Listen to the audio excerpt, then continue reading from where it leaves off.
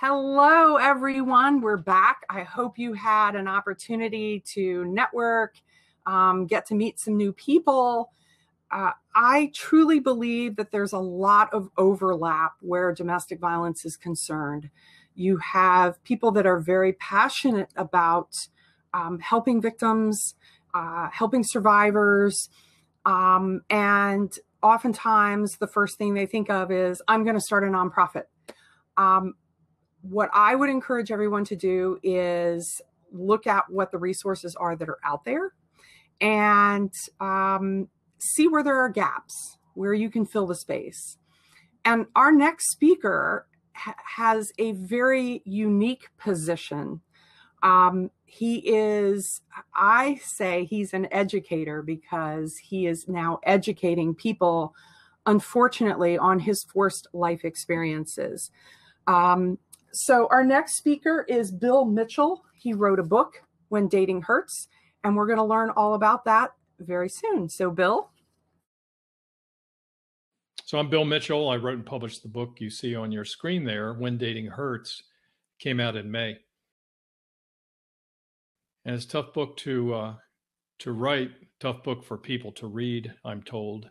But it tells the story of our daughter Kristen's murder uh, by her ex boyfriend back in uh, in June of 2005. And what I want to talk about are the signs parents and friends should not ignore because in every unhealthy relationship there are signs, there are warning signs or red flags that if you know about them, you can pick up on them. And if you pick up on them, you might be able to help the person who's in that unhealthy relationship, that person that's being abused. So that's what I want to talk about. I'm talking about those things we did not know about because they're so doggone important. These are photos from Kristen's college graduation on May 14th, 2005.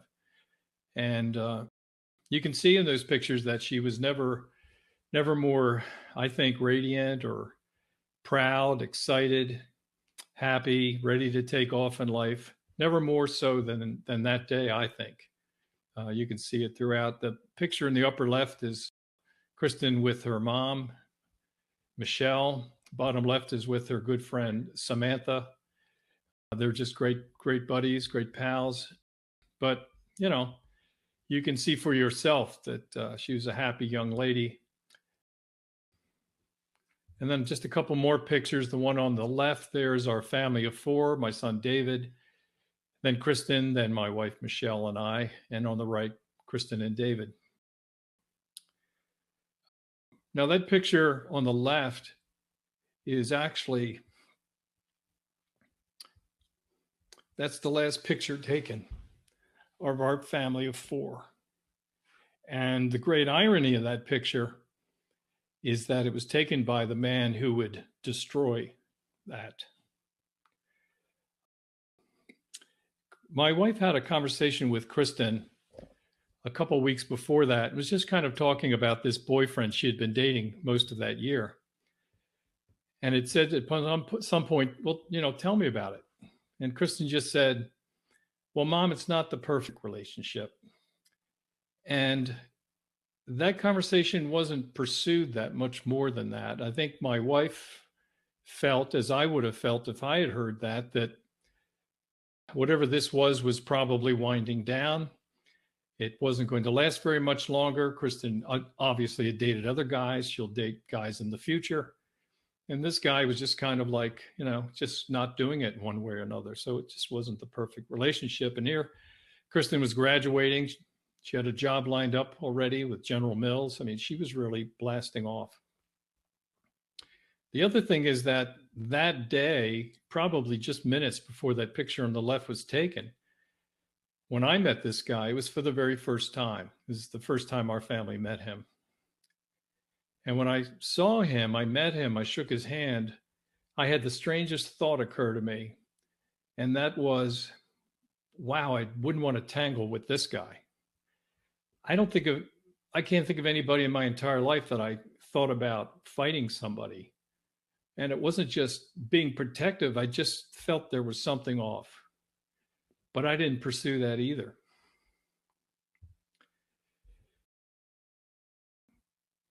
these pictures represent shots between the graduation day and, as it says on the screen there, June 2nd, 2005. Uh, but you see various pictures. You see what really what a lovely young lady she was. Very happy. She had great friends who she, you know, would carry into the future. She had a job, as I mentioned, with General Mills. She had a new apartment she moved into. And the picture at the top there in the kitchen, she was working on kind of a cheese potato soup.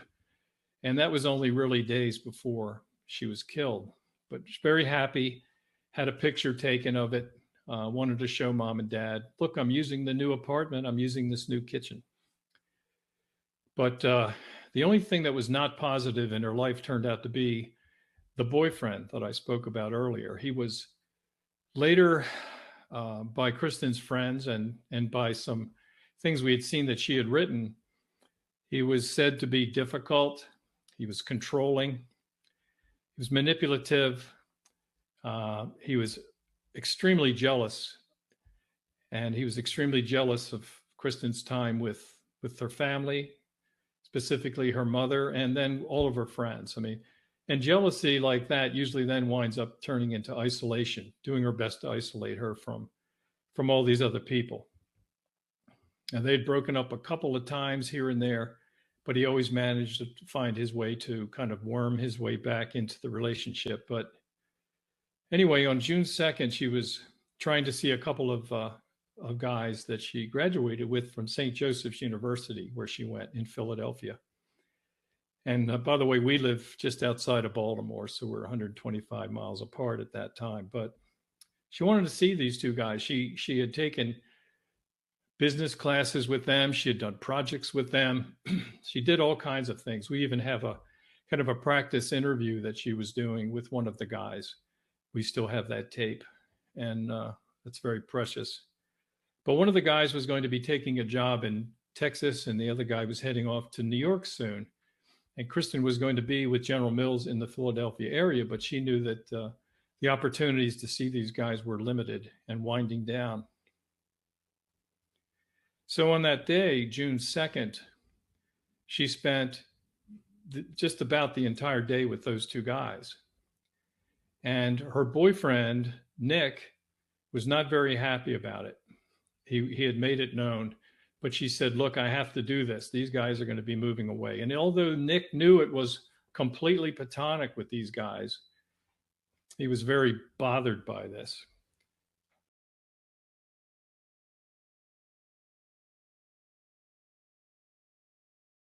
Now, Kristen met up with these two guys who were friends. They went to a, uh, a a restaurant that afternoon, went to lunch. She went with one of the the other one of the guys had to go off to a job he had part time job uh, in the area before his big job from school. But with the other guy, uh, he went. She went off with him and uh, went to a pool with him and his girlfriend. And just enjoyed some time in the sun that day, and then met up with the two guys again in the evening for dinner. And then after that, actually watched a movie in her apartment. But intermixed into all of that was this Nick fellow and was constantly texting her, calling her, bothering her, trying to find ways to get in, try to find ways to break up what was going on, insinuating there was more going on than than she said. So uh, that particular day, he was jealous of her spending the day with their friends, and in, he kept interrupting, as I said. He was even lying about his whereabouts because he was frustrated about wanting to get to her, but then was spending some time with the girlfriend he had had before Kristen. None of that was known to her, of course, but just becoming more amped up, more angry as time went on that particular day. Just furious. Quite a long email here, which I'm not going to read, but you see that this is at the end of that day, June 2nd, I've been talking about at 11:33 in the evening. Now, Kristen and I passed back and forth three emails that day. She wrote to me, I wrote her back. She wrote to me, I wrote her back, and she wrote to me. But this is the third of her three, or excuse me, the second of the three. 11:33. So the day's almost over. And I won't read it all. Now, I blocked out some of these because I blocked out the real names of all the people just for privacy. I'll come out and say Nick was not this guy's real name, but it's the name I use in my book and it's the name I, I use here. Um, and the other two guys, I blocked them out because they're just not, you don't need to know really. But what I want to do is this is a, an email where Kristen had kind of made the turn about talking about Nick and the and what she was putting up with him that day. So to make it easy, I just want to draw attention to seven areas that you could call, and I didn't know at the time, but you could call warning signs that I didn't know anything about. I just thought he's difficult. Once again, this is not the perfect relationship. It's going to come to an end. Don't worry about it. But I point out in here acting really jealous. He was acting really jealous because she hung out with her friends. He kept calling and not trusting her all day. Really annoying. Acting really mad. And, um, you know, it was a hard thing to do, but I had to tell him I needed space. So you can see this relationship, as far as she was concerned, was kind of suffocating in some ways. Uh, later on, says he was he seems to be getting more and more controlling. Classic warning sign. Well, I'll go over a list of warning signs in a moment. Not giving me space to be me. She talks about again. So there's seven right there at least. So you know, being dad, uh, I read that as it turns out not long after I was getting ready to turn in at that time. I had go to work the next day. This was uh, Thursday, going now into Friday at uh, just past midnight when I pushed send on this one. So I said I'll hold off on getting sleep. But the key points in this one go like this: that I was being the nice dad, and I didn't know what the relationship was like. I didn't push her about that. I didn't really see anything from the last email that that made me think that danger was ahead. But I say on here, you need to reassure him that he's important to you, but your friends are important too. They're not more important than he, but they're a part of your life. And I say he needs to hear and understand that you have friends. It doesn't mean you like him any less. And then lastly, I finish just be honest with Nick, and it should work out. Love dad. And soon after that, I went off to bed. Two and a half hours passed. She had finished watching this movie, which was called Open Water. It's kind of like, as Kristen was trying to point out, it was rather disappointing movie. Uh, some shark movie, as it turns out. Evidently, it was rather lame. But she puts on here, although it was pretty disappointing, the movie, it was good to continue to spend time with friends who care about me and not give into a jealous acting guy. And uh, so uh, that was supposed to be it. She was supposed to be calling it a night, as she say, you know, going to bed herself. But as it turns out, after she hit send on that email, there were more text messages and calls, and she didn't turn in quite yet. Now, I'm going to pause that story for a moment and I want to go into these warning signs, which is really the main purpose of us talking. The warning signs of an unhealthy relationship, and there are many, but I want to point out some of the key ones. For instance, constant put downs. It's supposed to be a loving relationship, and yet there can be constant put downs. There can be nicknames that are not very appealing uh, that keep coming back. It could be putting somebody down about about the way they look, even though, again, this is supposed to be some kind of a relationship or some version of partnership. But constant put downs about the way somebody looks, the way they do her hair, maybe the way she dresses, maybe about her friends, maybe about her family members, but kind of making it known that I'm better than you. And so, therefore, I have permission to say to you whatever I want to say to you as you could see in some of Kristen's writing, controlling or dominant behavior, always trying to insert himself, checking uh, someone's cell phone or email without their permission. Uh, you know, that's somebody who you leave the room and when you come back, they've got your cell phone and they're checking your text messages or emails or whatever that is. And I know for a fact from Kristen's friends that he did that type of things, those things with her or to her. Extreme jealousy. She talks in her last email to me, the last email ever written in her life. This uh, jealous acting guy. And, uh, you know, we've, uh, we all know what possessiveness feels like when we've had it happen to ourselves as well. Isolating you from family and friends. This guy did this all the time. Um, you saw the graduation picture of the four of us. My son and I actually headed back to Baltimore where we live, but my wife and Kristen headed to the Maryland beach and were there a few days. And uh, and he was constantly texting and calling Kristen, and then even coerced her by making beginning to make a meal back in the Philadelphia area and saying, look, you know, I got the table laid out. I bought all these things. Look at these flowers. I mean, you are coming home, aren't you? You're coming home tonight, right? And so Kristen felt the need to cut her time with her mother short. Another version of isolation. Explosive temper. You know, what happens dealing with somebody like that? Kristen talks about him acting mad but somebody who uh, is like that is someone that you don't want that to happen so you give in give in give in even at times when you wouldn't do that maybe with other people in your life. Constantly checking up on you uh, with calls and texts. We talked about making you feel no one else would ever want you. That one makes sense too under the heading of power and control right? Uh, it's kind of like um, hey you know you're not so great but i'm with you but I, I got to tell you something, or I have to remind you that uh, you know I could go in any minute, and you're lucky I'm even around. Making you feel you can't do anything right, which takes us into an area called gaslighting, uh, and I won't go to the origin of that, but gaslighting is is that it's it's finding every fault you make and amplifying it. Um, it's somebody who, even in some cases, I had this happen to a cousin uh, who was married, whose husband actually went out of his way to actually alter things around the house so that she would find things out of place.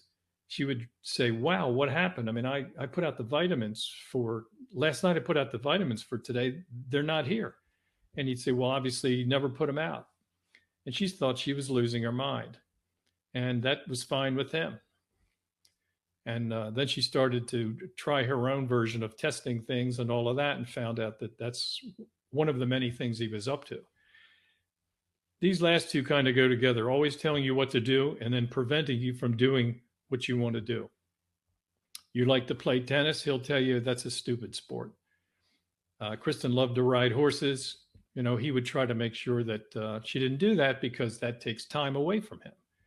So those are kind of a, a, a good, strong uh, a, a version of the classic warning signs of an unhealthy relationship. And now you know what some of those are. But I can tell you that Kristen didn't know, and she had no idea, nor did her friends, nor did her family know the potential danger she was heading to.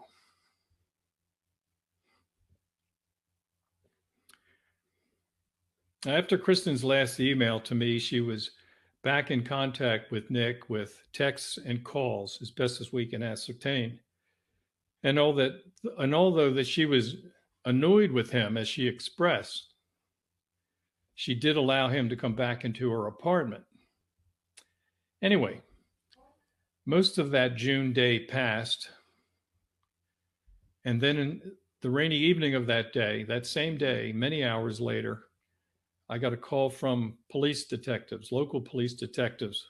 Now again i live outside of baltimore. This happened around philly and when these detectives met up with me, they they uh, said, well, what they said over the phone was, we can't tell you what happened, or we can't talk about why we need to meet with you unless we do it in person. And I uh, I had no idea what they were going to come and tell me, you know, in a rainy evening on a Friday. But what they told me was a parent's worst nightmare, and I took a picture soon after. My back was practically up against that Gatorade when uh, when the two detectives showed up and told me what they had to tell me. As you can imagine, the following week was just dizzying. It was uh, a, a 24 hour nightmare. um, interviewing and visiting funeral homes and cemeteries, um, making friends to, uh, making calls to friends, getting calls from friends, family members, um, speaking with people at the apartment complex, lots of calls with police out of Philly, and of course the wake, the funeral service, reception, all of that. Kristen didn't know what to look for, and Kristen's friends didn't know what to look for. And one of her teachers who talked with her that week before the graduation asked about, you know, what else have you got going on? You got this great job. And she said, well, I have a boyfriend. It's kind of difficult, kind of problems, but I can handle it. And her parents didn't know what to look for. My wife and I didn't know what to look for. But the idea is that now you know what to look for. You know, my daughter Kristen and her friends learned in the worst possible way what to look for. And we've been dealing with it for now for the last 15 years. I want to kind of close here with a couple quick things. One of them is there is only one statistic I ever used in the book and that I ever use when I give speeches, and I've given well over a hundred of those. And so I just want to share it with you. It's very easy to remember, but I want to talk about the prominence of the physical violence that takes place in unhealthy relationships. It's this one. One in three women will suffer serious physical violence in an intimate partner relationship. That's a lot of people. And typically it happens between the ages of 16 and 24.